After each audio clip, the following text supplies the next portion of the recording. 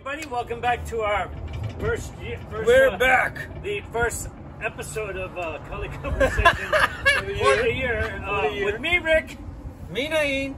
and our special guest. Well, not, he's no longer special anymore. I mean, What? I see him almost every other month. We talk about him almost every episode. We, we talk about every episode. And thank you, by the way, for that. In, your last, uh, Oh, and this COVID is Dan one, Ramos.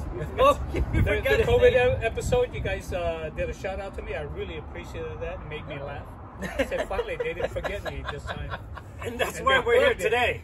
They plugged me in. We, we, we, we knew we were going to be here today. Well, see, here's the thing. Like, I always wanted to start off the year since even before the holidays with Danny being on our on our first show because he is the godfather of what we do. We do godfather. Well, well, great grandfather. Great grandfather. Great grandfather. Just call me your daddy. Ooh.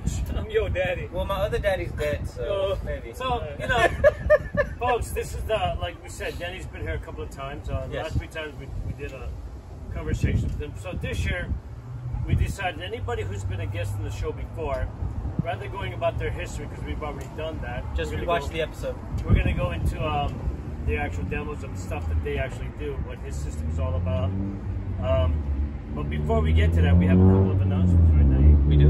Yes. Um, Oh, we do. Yeah. In February, uh, February 5th.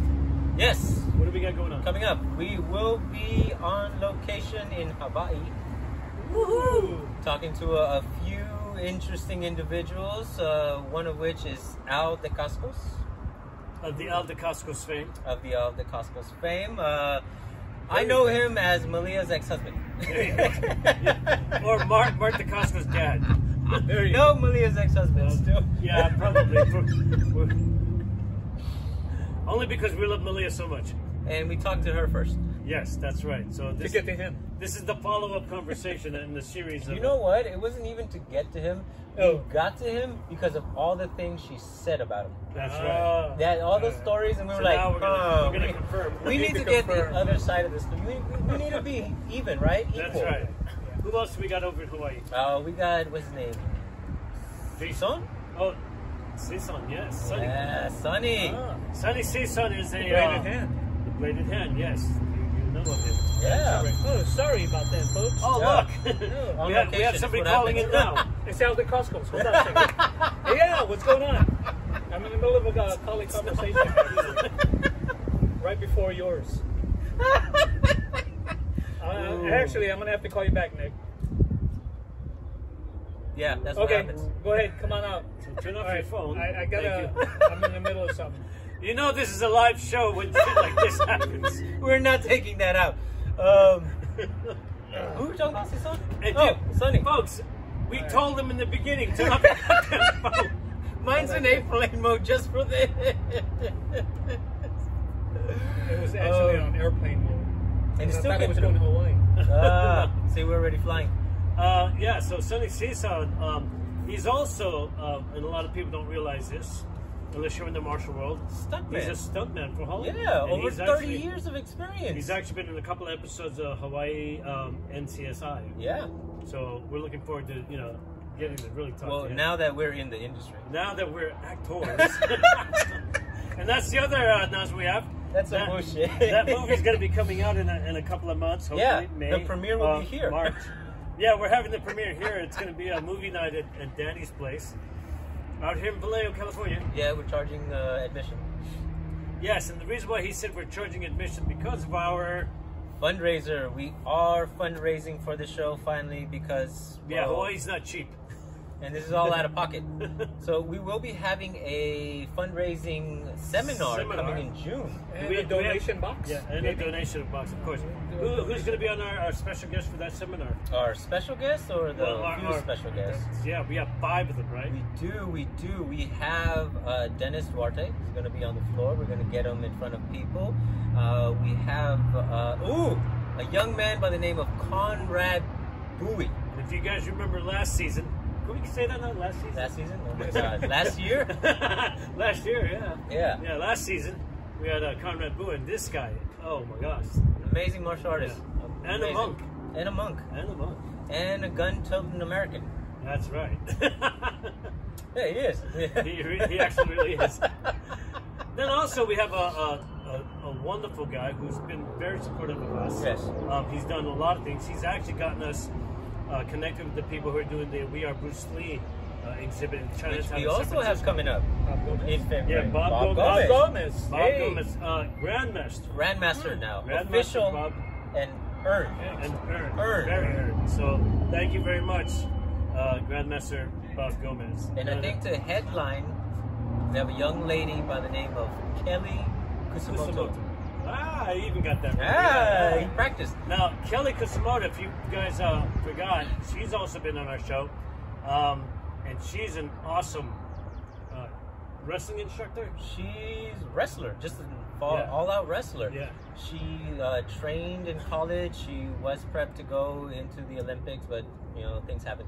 Right. Uh, but she loves teaching, and she's really good at what she does. I, I got to play with her on the mat a little And bit. And he got ragdoll. Oh, it did. And right. She's tiny. I forget how small she is because all I remember is being thrown around and manhandled so bad that it felt like I was fighting a bear.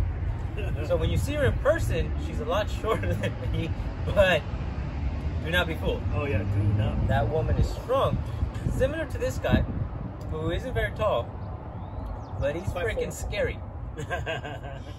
No, because seriously, like, uh, and then this is something that that um, because I've been able to play with so many, you know, masters and grandmasters and people with with decades of experience, you start getting kind of that sixth sense of mm, this person's dangerous, yeah, yeah. You know, and then the way that they move. You're too kind. You're too kind. Please, please, go ahead. Keep Well, going.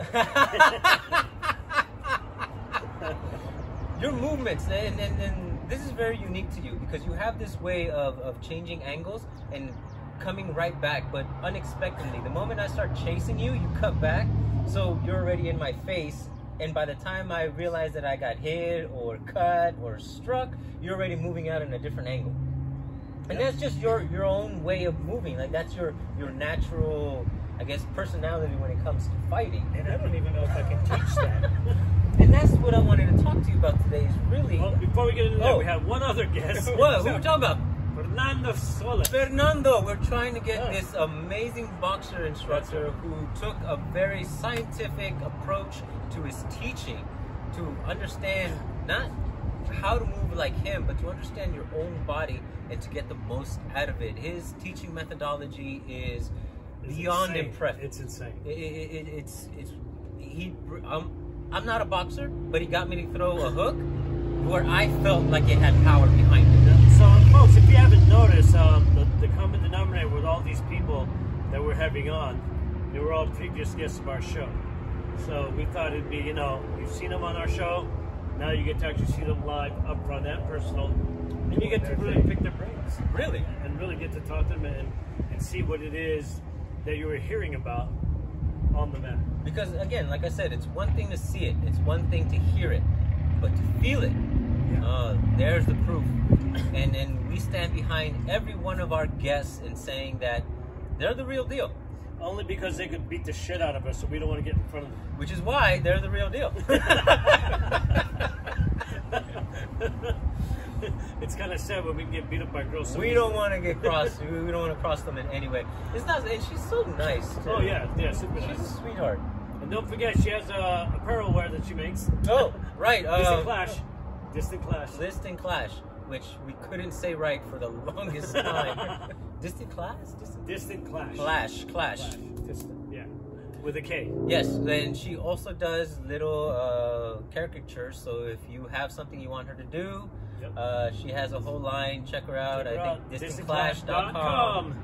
And you can see all her apparel and all her designs. It's pretty cool. She has wrestlers, uh, jujitsu, uh, karate, uh, boxers. So it's these really cute little things, but they're fun. They're It's fun. like a so- Japanese anime. Yeah, yeah, yeah. Little chibis. I think what they're called. So now let's go ahead and move on to uh, this guy next to us.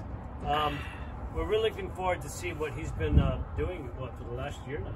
yeah. Yeah, We- we all COVID haven't- we hit all us hard. Yeah, we all haven't been able to play. Idle Yeah. hands, right? Well, so what have I done?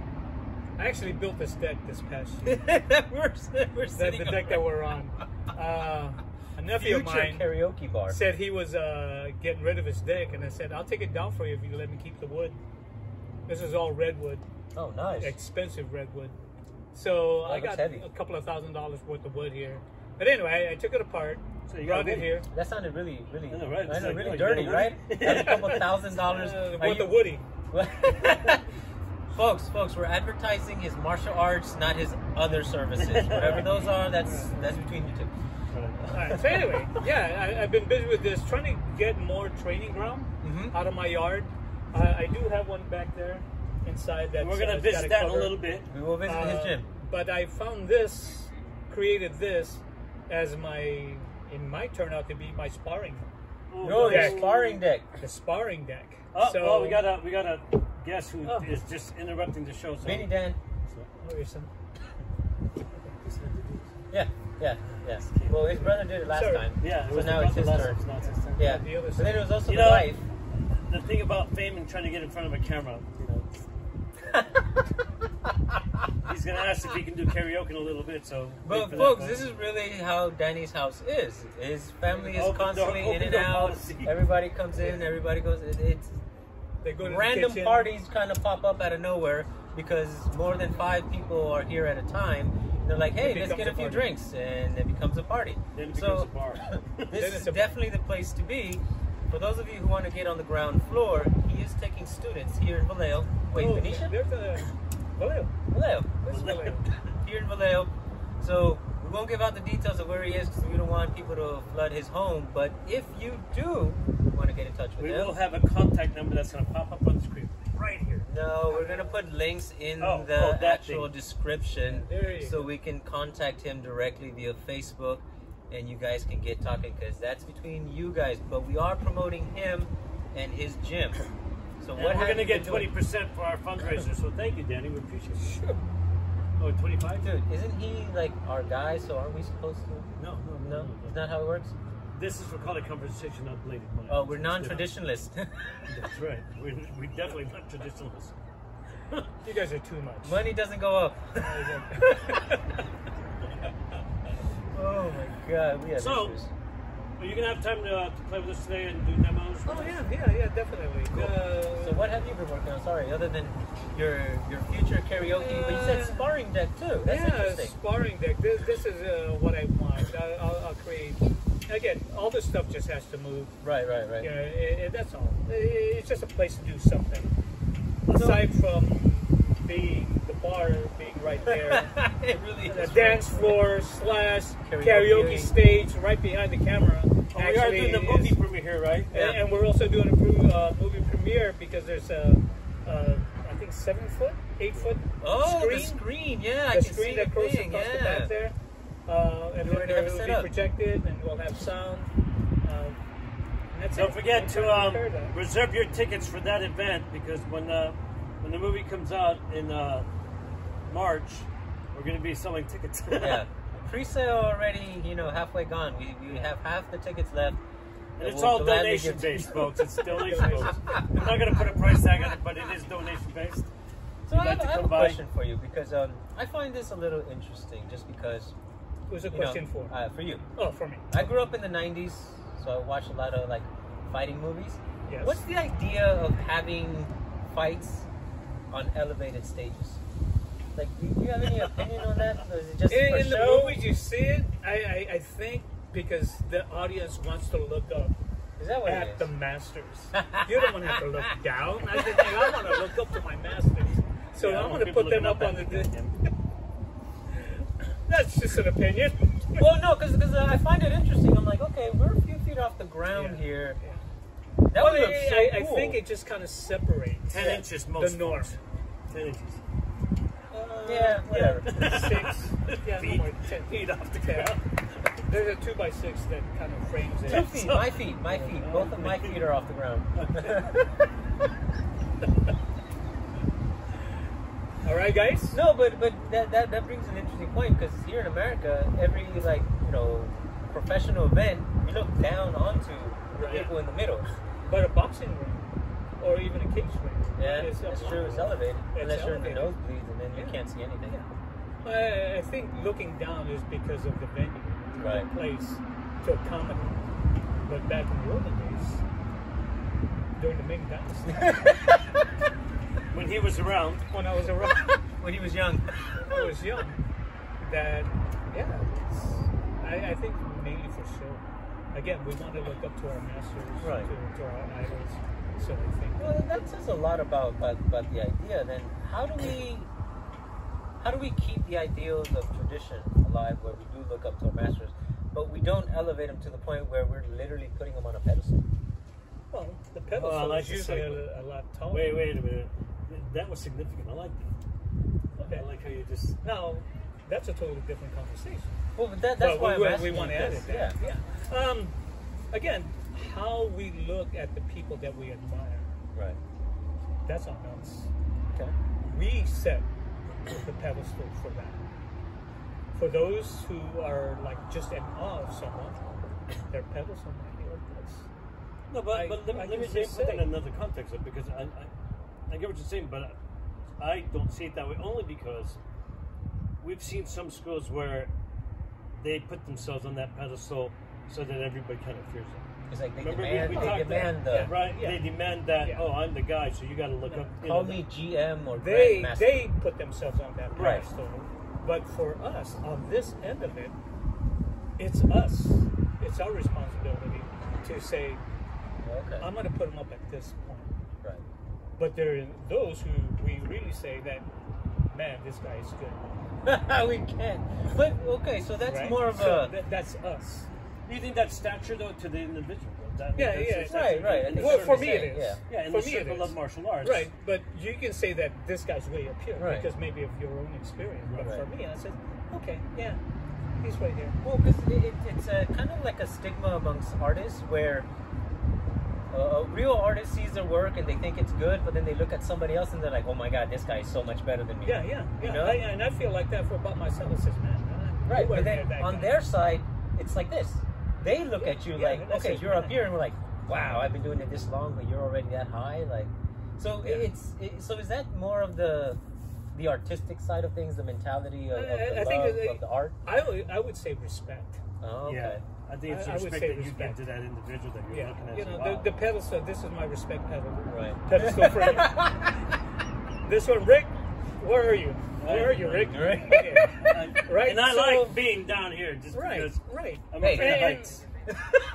But I, I, I think it, it boils down to respect, and not so much as the pedestal is the The marker. the Okay. marker, but Yeah. I, I, I think respect for understanding the, the journey that they took mm-hmm. and how they got to be where they're at. The effort I, I, it. Yeah. That's that's what I want to respect, right? The end result, Grandmaster, okay, right?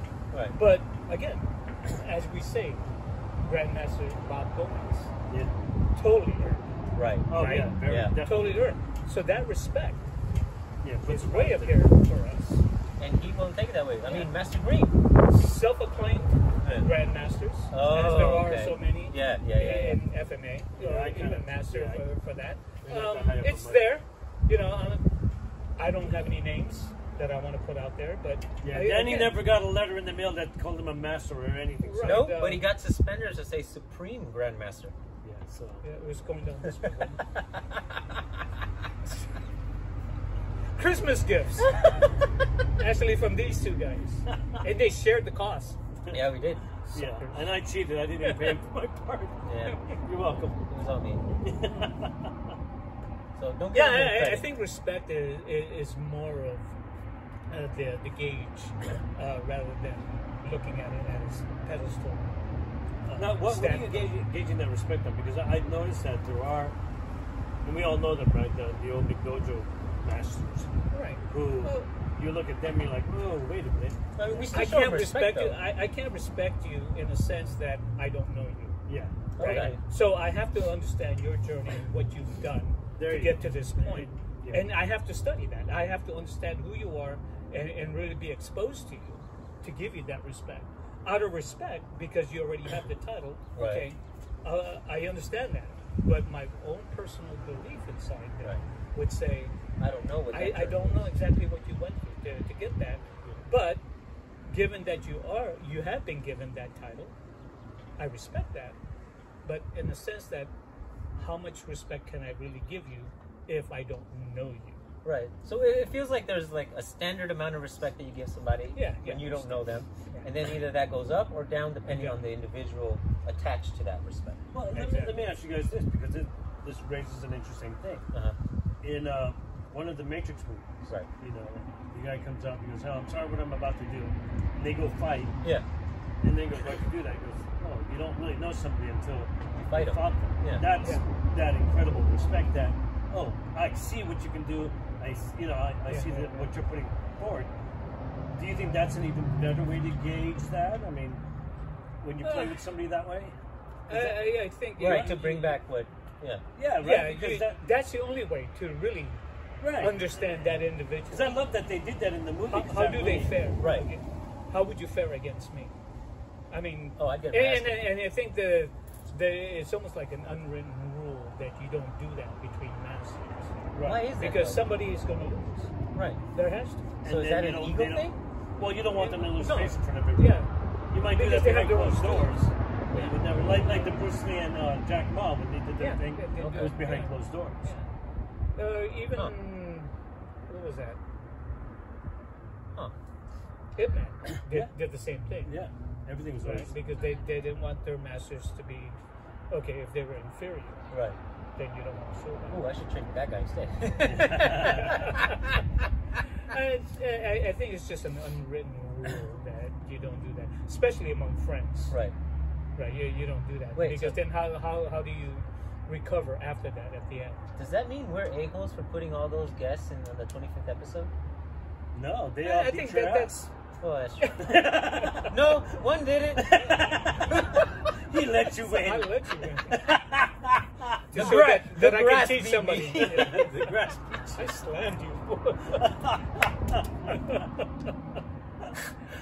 I didn't even expect that to go there either. He just went But there. Well, you know, know, right? like I said, that that raises that that incredible point of you know how do you see the person in front of you?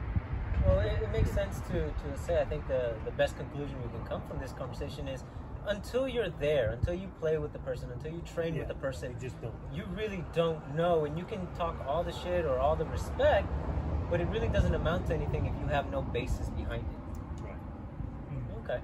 And even the hearsay stuff so, doesn't so work. here, Right. here's another point too, right? Uh, Um, let's say you're sparring and you don't want to lose.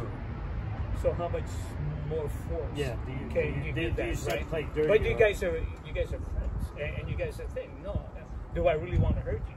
So I hold back, or you may hold back because this is just a friendly sparring thing. Right. But at the same time, you don't want to lose, right. right? So are you Hmm. going to hurt something or someone, or are you willing to get hurt?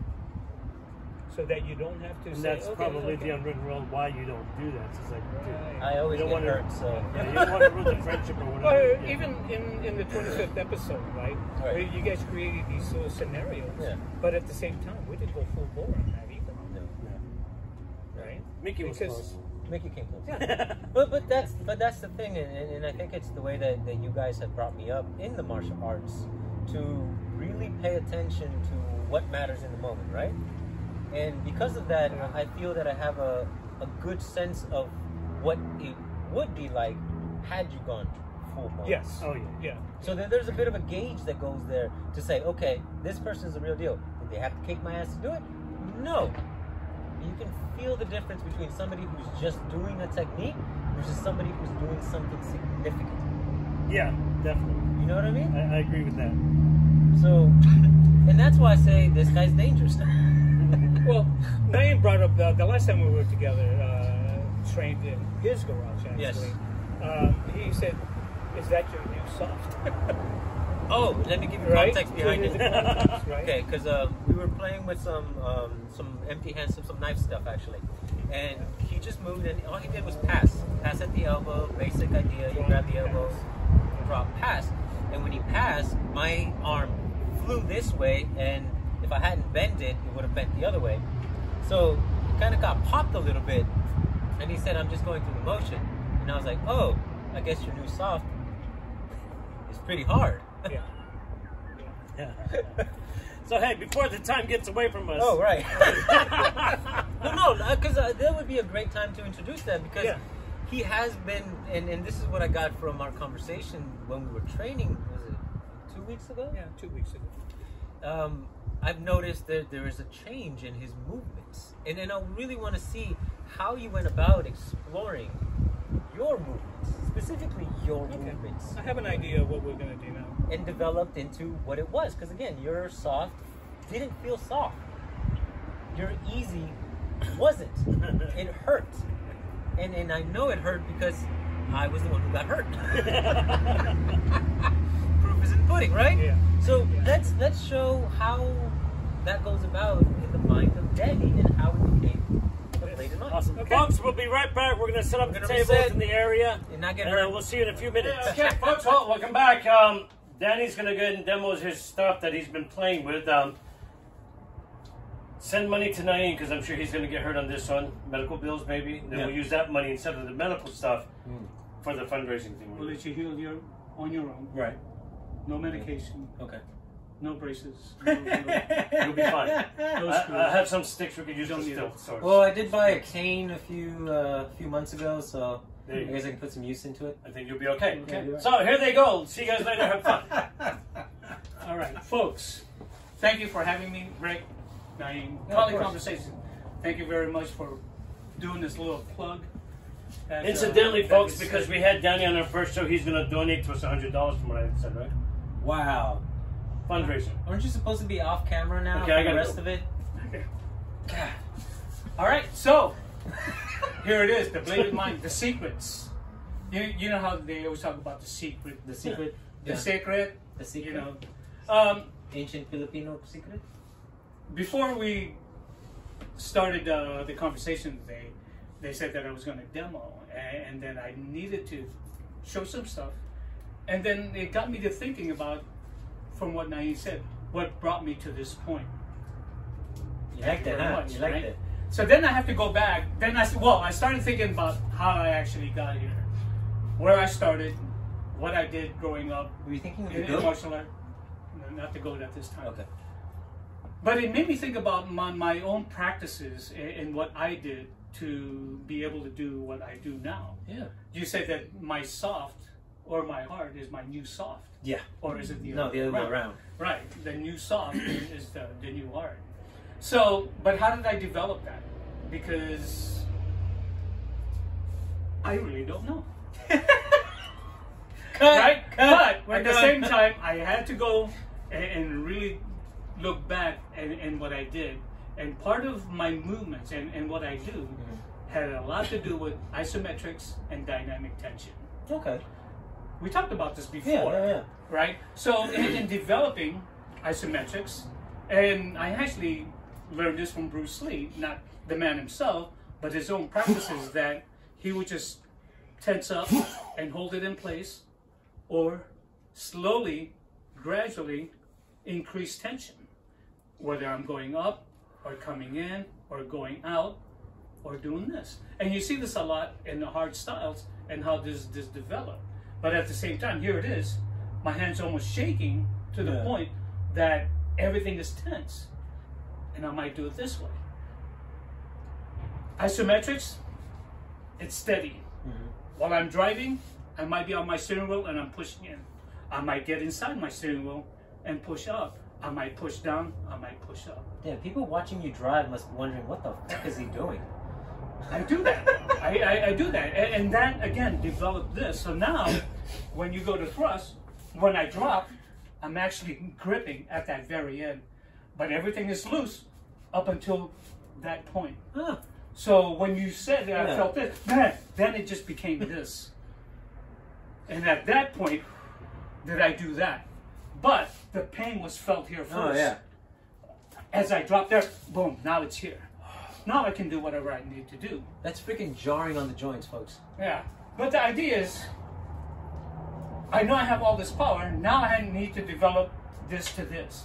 This needs to be automatic. That if I felt this, this is here. How long does it take? That as soon as I touch you here, that this should follow.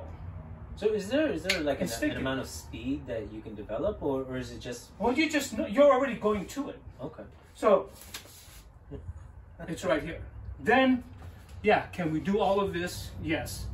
Everybody knows all of that. But Oh, yeah. to get to this point and really jar this here and really make that drop, Yeah. destroy this, the brain says, that hurt. Not even thinking about this now.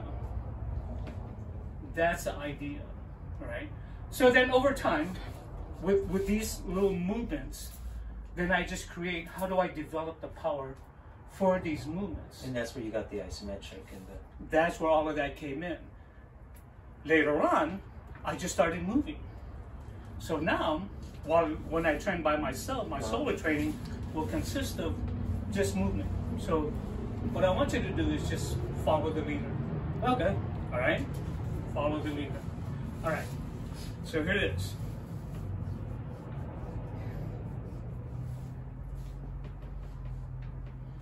Follow me.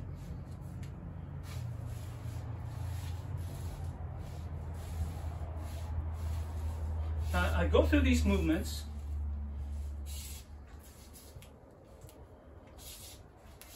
Just to understand the movement Oh, the step.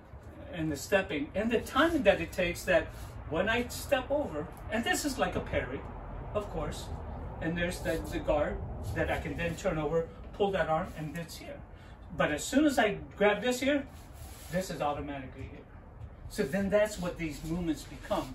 I will just move and then figure out combatively how does this apply. Is that a word, combatively?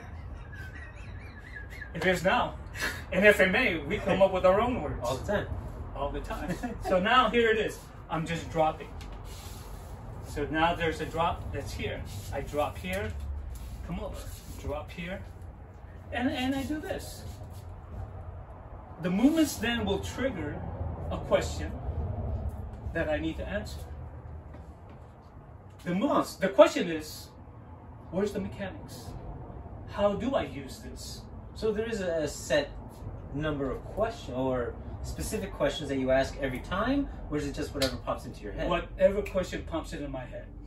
Oh. Then I can create my own questions after that. Okay. But the initial question is, where's my timing?